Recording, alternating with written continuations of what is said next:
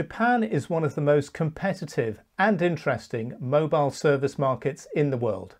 I'm talking today with Hideki Kurokawa from Biglobe, a mobile virtual network operator, or MVNO, that is set to launch soon in the Japanese market. So Kurokawa-san, with the Biglobe MVNO service set to launch this year in Japan, how has the pandemic affected your plans? はい、ありがとうございます。Thank you. We have already started providing our MVNO services, and uh, we've been updating our services uh, in a regular time basis. Uh, because of this current pandemic, there was some delay in the service and as, as well as the system deployment, especially uh, for the on-prem work uh, required for the project have been affected um, significantly. However, uh, thanks to the uh, help of HPE members to introduce the uh, virtualization network system as well as the cloud deployment. The project uh, went very well and we were able to minimize the delay. Okay, excellent. Um, so, how would you describe Japan's crowded MVNO business landscape and the implications for monetizing new 5G services? はい、ありがとうございます。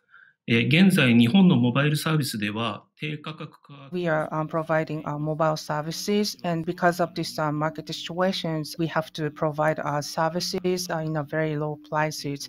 So, in order to address to those needs, we try to quickly deploy our services and by slicing technology to address to the various kind of needs. Uh, for 5G network services, uh, we've introduced this uh, um, slicing technology so that we can uh, address the um, diversified needs needs uh, from the customers. So uh, also HP helped us shorten the turnaround time of uh, each project. also, we were able to automate the testing um, so that we were able to reduce the cost. So um, because of this um, cost reduction, uh, we are able to provide uh, our services very quickly uh, with low prices. Okay, great. Um, so how is Biglobe's Neo service different compared to other brands such as UQ? はい、ありがとうございます。Biglobe is an internet service provider, and we have about 30 years of history as this uh, service provider.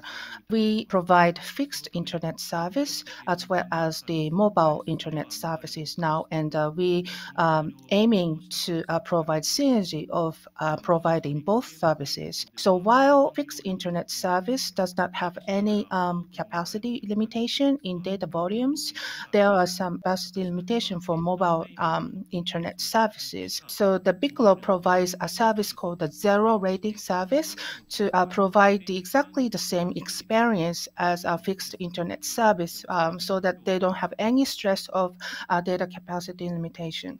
Okay, great. Um, have the greenfield players in Japan and their attempts to capture a younger subscriber base impacted Biglobe's strategy? はい、ありがとうございます。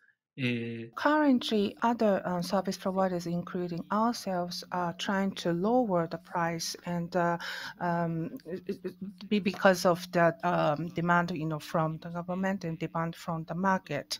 Um, so our users are used to um, focus on MNO service rather than the MVNO service. But because of this trend, um, the uh, we are now providing more options for the customers, uh, and now they are um, they have started looking at the uh, lowered price of MVNO service as well.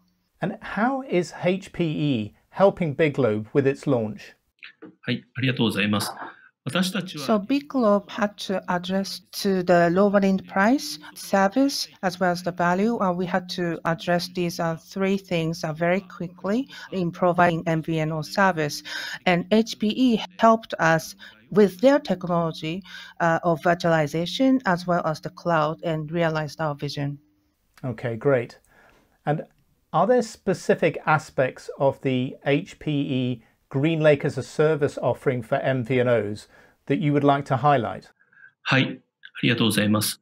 HPE GreenLake um, helped us addressing to the uh, quickly um, changing, rapidly changing the mobile market environment.